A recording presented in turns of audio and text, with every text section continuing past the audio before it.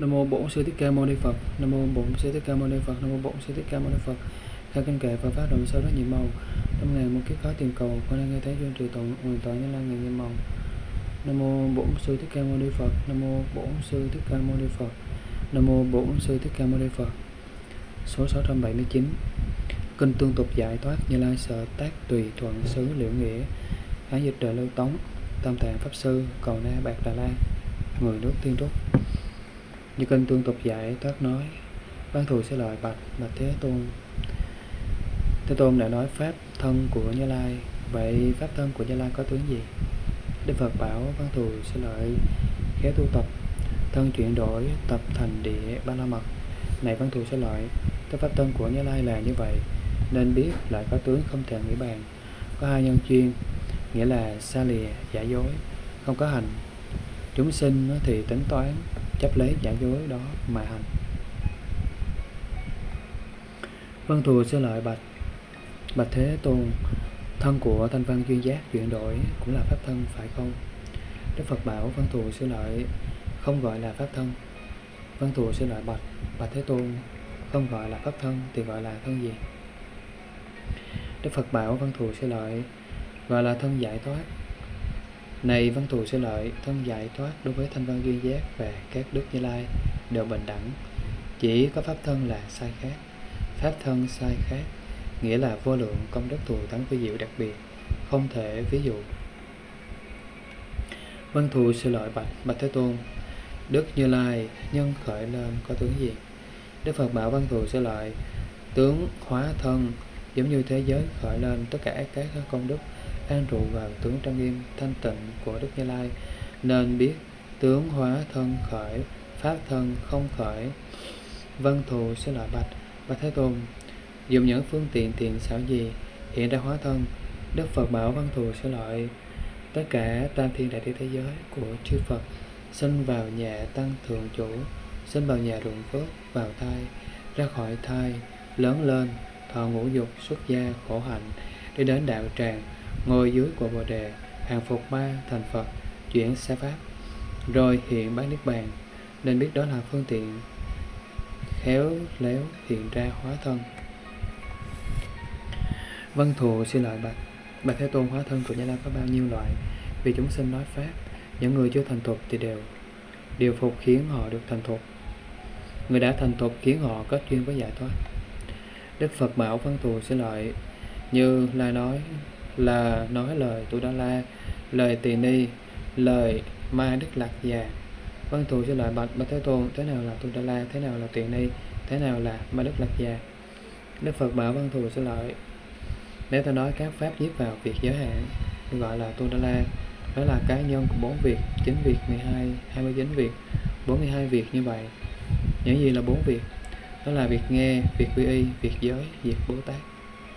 Việc bồ tát những gì là chính việc, đó là việc bố thí cho chúng sinh việc thọ dụng, việc nhân khởi kia, việc khởi lên rồi an trú, việc ấy diệt tất cả việc kia, việc nói, việc đã nói, việc đồ chúng những gì là mười, là hai mươi dính việc, đó là một, những việc nhiếp thuộc từ phần có nhiễm, hai việc có nhiễm kia lần lần tùy theo đó mà khởi lên. Ba khởi lên như vậy rồi, đó là cái nhân để sinh trong đời vị lai bốn tác pháp tượng đó rồi. Đó là cá nhân sinh ra trong đời vị lai năm từ duyên trong phần thanh tịnh, nó thuộc vào sự buộc niệm. So đối với các việc phải có quyết định, bảy tâm được an trụ, tám hiện ra pháp lạc an trụ, chín khởi lên tất cả phương tiện phổ duyên, mười biết được việc phải đoạn. Có việc như vậy đó là đoạn biết chỗ điên đảo, là biết chỗ hướng đến từ nơi chúng sinh tưởng. Bên ngoài chúng sinh tạc, là biết chỗ bên trong xa lìa tăng thượng mạng. 11. Việc tôn sự 12. Việc tác chứng 13. Việc tôn 14. Việc ấy đã tạo kiên cố 15. Thực hành việc ấy 16. Kết duyên với việc kia 17. Việc đoạn không đoạn 18. Quan sát phương tiện kéo léo 19. Việc đó tán loạn 20. Việc đó không tán loạn 21. Việc đó Việc chỗ đó không tán loạn 22. Việc đã tạo tu tập không nhàm chán 23. Không bỏ phương tiện 24. Việc tu phước lợi 25. Việc kia tu tập kiên cố 26. Việc hiểu biết chân thật 27. Việc đến Niết Bàn 28. Việc khéo nói chứng kiến pháp luật thế gian để tất cả chứng kiến trong ngoài 29. Việc ấy tu thoái Này văn thù sẽ lợi, khéo nói pháp luật, Không tu tập thoái lui thì không phải lỗi lầm Này văn thù sẽ lợi Nếu ta vì đệ tử Thanh Văn Bồ Tát nói ban la đề mộc xoa và đây là một xoa tương ưng với học Thì gọi là việc tỳ ni. Văn thù sẽ lợi bạch. Và Thế Tôn có Bồ Tát có như ba la đề một xoa. Đức Phật bảo văn thù sẽ lợi Có bảy loại. Một, Nói thọ oai nghi. Hai, nói việc sự ba la di. Ba, nói phạm tự tánh. Bốn, nói không phạm tự tánh. Năm, nói ra ngoài phạm vi. Sáu, nói thọ luật nghi. Bảy, nói xả luật nghi này, văn thù sẽ lợi có 11 loại tướng rộng nói hiện thị tuyên thông phân biệt, đó là ma đức lạc già. Thế nào là 11 loại tướng? Một đẳng tướng, hai đệ nhất nghĩa tướng, ba pháp bồ đề phần phan duyên tướng, bốn hành tướng, năm quả tướng, sáu thần lực hiển thị tướng, bảy tự tánh tướng, tám bỉ trì tướng, chín bỉ thuận pháp tướng 10 bỉ hoàng tướng 11 bỉ lợi tướng này văn thù cho lợi đẳng tướng là nói việc người, nói việc vọng tưởng, nói tự tánh các pháp, hoặc đang ờ, tạo ra nghiệp.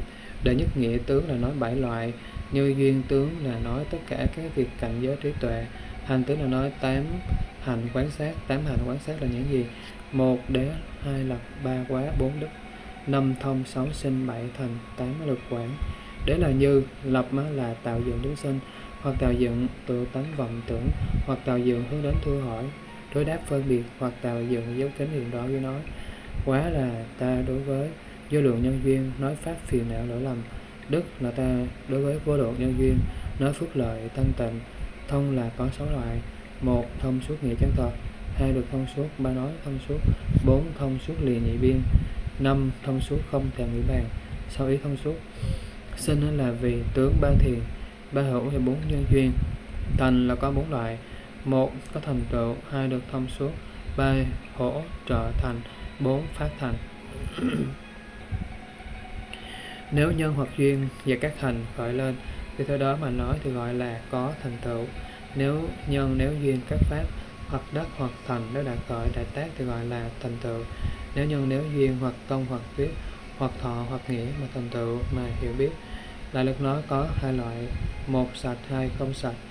Sạch có năm loại tướng, không sạch có bảy loại tướng. Những gì là năm thứ tướng tịnh. Một, hiện tiền được thấy, được tướng thải ấy. Hai, nương theo hiện tiền được tướng. Ba, tự chủng tỷ tướng. Bốn, thành tựu tướng. Năm, khoái tịnh ngự tí tướng. Tất cả hành là vô thường, tất cả hành là khổ, tất cả pháp là vô ngã nếu hiện tiền ở thế gian được bình đẳng như thế thì gọi là hiện tiền đắc tướng.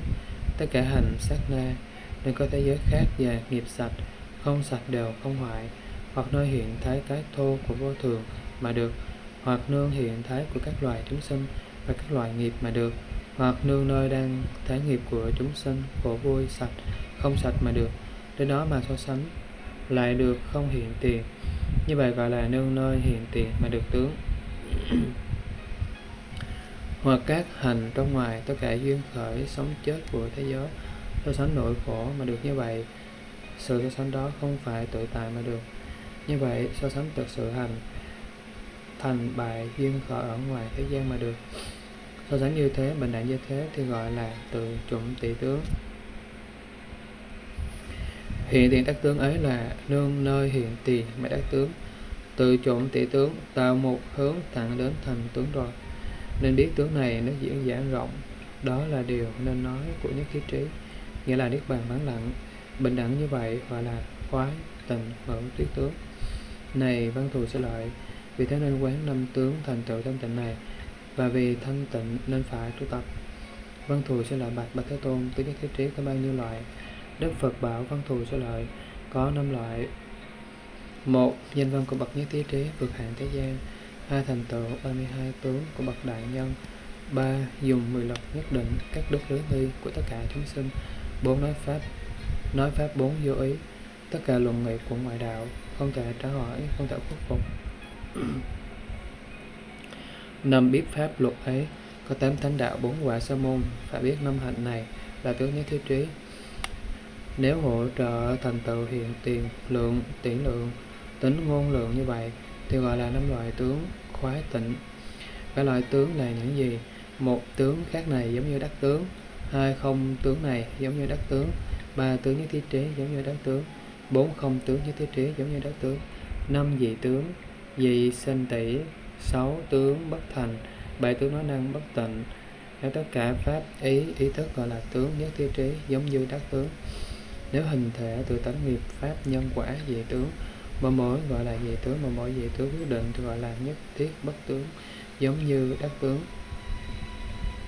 Này văn thù sư lợi có thể so sánh tướng nhất thiết khác giống với, giống như đắc tướng. Nhất thiết bất tướng giống như tướng, vì tướng ấy thành tựu không phải là một nên gọi là tướng bất thành. Lại nữa có thể so sánh bất tướng khác giống như đắc tướng.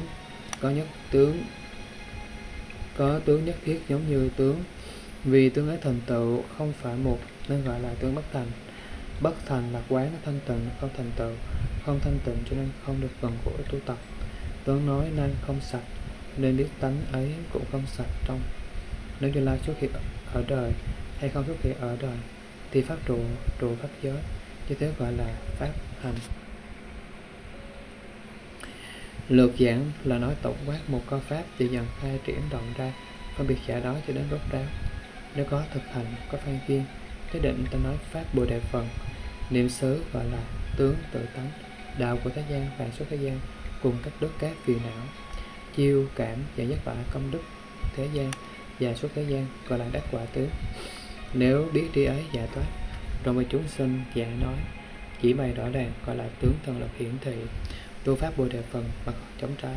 Có nhiều nơi đạo như vậy gọi là tướng chướng ngại pháp được nhiều lợi ích gọi là tướng tùy thuận pháp nếu chướng ngại lỗi thì gọi là tướng lỗi lầm. Nếu tùy thuận công đức thì gọi là tướng lợi ích. Khi ấy văn thù sư lợi bạch mà thế tôn. Cuối xin thế tôn về chúng bồ tát mà nói, sơ lược nghĩa thọ trì của tu đa la tỳ ni mà đức lạc già, khiến cho chư bồ tát của tất cả các ngoại đạo, với pháp nhiệm màu mà như lai đã nói sẽ lần lượt tùy thuận nhập vào. Đức phật bảo văn thù sẽ lợi, này văn thù sẽ lợi, nếu pháp cấu nhiễm, pháp thanh tịnh, thì ta nói tất cả pháp là vô tác vô nhân, tất cả không có chuyện đánh bắt. Chẳng phải pháp cấu nhiễm thì trước cấu nhiễm, sau thanh tịnh. Chẳng phải pháp thanh tịnh là sau thanh tịnh trước thì cấu nhiễm. Phạm phu ngu si, đối với tội lỗi nơi thân hoặc nơi pháp hoặc nơi nhân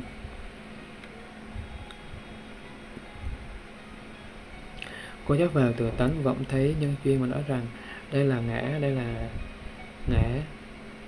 Đã thấy, nghe người đế và xúc chạm với thức tướng vọng tác tình ấy, và khả năng tà hành. Nếu có người biết như thật, liền bỏ liền bỏ lỗi lầm nơi thân. Tất cả phiền não không còn, không nhiễm, được ráo khóa tịnh liền mọi giả dối, được thân vô vi, để hạn các hành này văn thù sẽ lại nên biết đó là lực nói nghĩa thọ trì. Bây giờ đức thế tôn muốn tuyên lại nghĩa này để nói kệ tụng, pháp cấu nhiễm, thanh tịnh, vô tác cũng vô nhân. Ta nói không nắm bắt, sạch nhơ không trút sâu. Ngu si lỗi nơi thân, chấp ngã và ngã sở. Duyên kia khỏi kiến chấp, ngã là ngã sở tác. Đây là ngã phiền não, đây là ngã thanh tịnh. Biết chân thật như thế, quyết bỏ thân lỗi lầm, không dính mắc phiền não rốt ráo được thanh tịnh để hẳn mọi giả dối, thân được trụ vô vi. Khía giang thù sẽ lại bạch, có thế tôn tâm của như lai khởi lên có tướng gì? Đức phật bảo văn thù sẽ lại này văn thù sẽ lại như lai không khởi tâm ý ý thức. Như lai không khởi tâm hành, nên biết như là biến hóa. Để pháp thân của các đức như lai lìa tất cả hành, vì sao trong khoảng giữa không khởi tâm hành? Này văn thù số lợi sự tu hành, vốn đã khởi lên trí tuệ. Vì như người chẳng phải vô tâm mà ngủ, lại tác giác hành. Tất nhiên có giác, vốn là nhờ năng lực của tác hành. Giống như chẳng phải nhập diệt thọ tưởng định mà tác giác hành. Tất nhiên có khởi nhờ, có khởi vốn là nhờ vào sức tác thành, tác hành. Ngủ và diệt thọ tưởng định, tâm khởi lên như vậy, như lai tâm khởi cũng là như vậy vì sự khởi lên vốn là việc tu tập, trí tuệ. Văn thù sẽ lợi bạch bạch thế tôn, thân của như lai là có tâm hay không có tâm? Đức phật bảo văn thù sẽ lợi không tâm tâm không tự tại mới là đại tự tại. Văn thù sẽ lợi bạch bạch thế tôn, hành xứ của như lai, cảnh giới của như lai có gì sai khác? Đức phật bảo văn thù sẽ lợi hành xứ của như lai cho đến hết thảy như lai cộng lại. Là không thể nghĩ bàn vì đó là công đức trang nghiêm thanh tịnh của các cõi Phật. Này, văn thù sẽ loại, cảnh giới của Như Lai có năm loại, một cảnh giới của tất cả loài chúng sinh, hai cảnh giới thế gian, ba cảnh giới của Pháp, bốn cảnh giới của sự điều phục, năm cảnh giới của phương tiện điều phục. Đó là sai khác.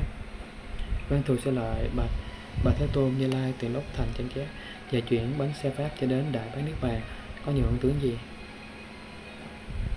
Đức Phật bảo văn thù sẽ lợi không có hai tướng không thành chánh giác và chẳng phải không thành chánh giác. Chẳng phải chuyển xe pháp và chẳng phải không chuyển bắn xe pháp. Không đại bát niết bàn và chẳng phải không đại bát niết bàn.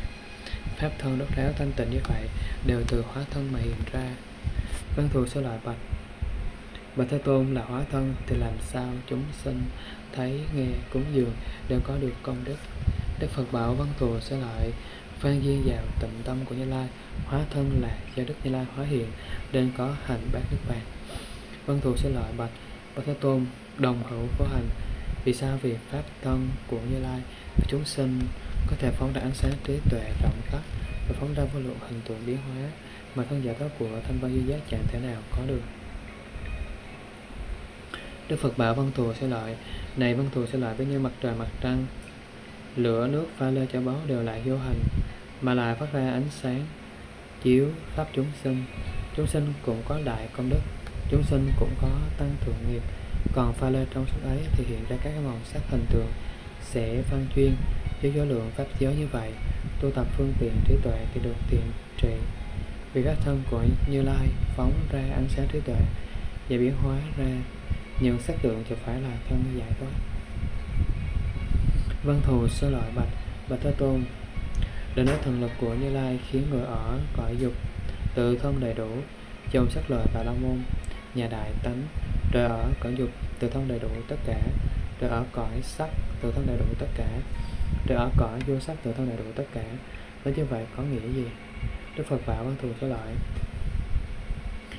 này văn thù sơ lợi thần lực của Như Lai tạo dựng hoặc là đạo hoặc dấu vết khiến cho khắp tất cả mọi nơi được tự thân đầy đủ tất cả như là đối với đạo đối với giáo pháp đó tùy theo sở thuyết tu hành khắp mọi nơi kia để tự thân đầy đủ tất cả nơi chống trái che trách hủy hoại đạo đó.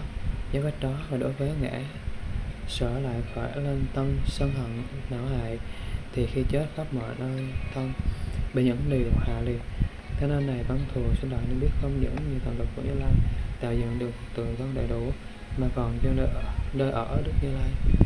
Nếu khởi lên tâm giận dữ não hại thì thân bị hạ liệt. Vân thù sẽ lại bạch bạch thế tôn quả Phật bất tịnh như thế nào là khó được, khẽ được, dễ được, có Phật thanh tịnh như thế nào là khó được, dễ được.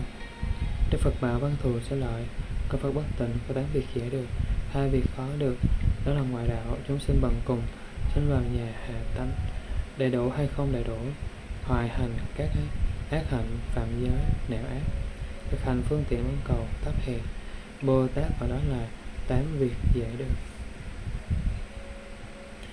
Thực hành phương tiện mong cầu thù thắng bồ tát và như lai xuất hiện ở đời đó là hai việc khó được. Này văn thù sẽ lợi cõi phật thanh tịnh còn với cõi phật bất tịnh trái nhau. Ở đây có tám việc khó được với hai việc dễ được. Gã dân thù sẽ lợi bạch và thế tôn trong kinh tương tục giải thoát thì kinh này tên là gì và phụng hành như thế nào? Đức phật bảo văn thù trả lợi kinh này tên là như lai sở tác tùy thuận liệu nghĩa. Nên như vậy mà phụng hành. Khi đức phật nói kinh như lai sở tác tùy thuận xứ liệu nghĩa, có bảy vạn năm ngàn bồ tát đạt được tam muội, phân biệt đầy đủ pháp thân. Nam mô bổn sư thích ca mâu ni phật.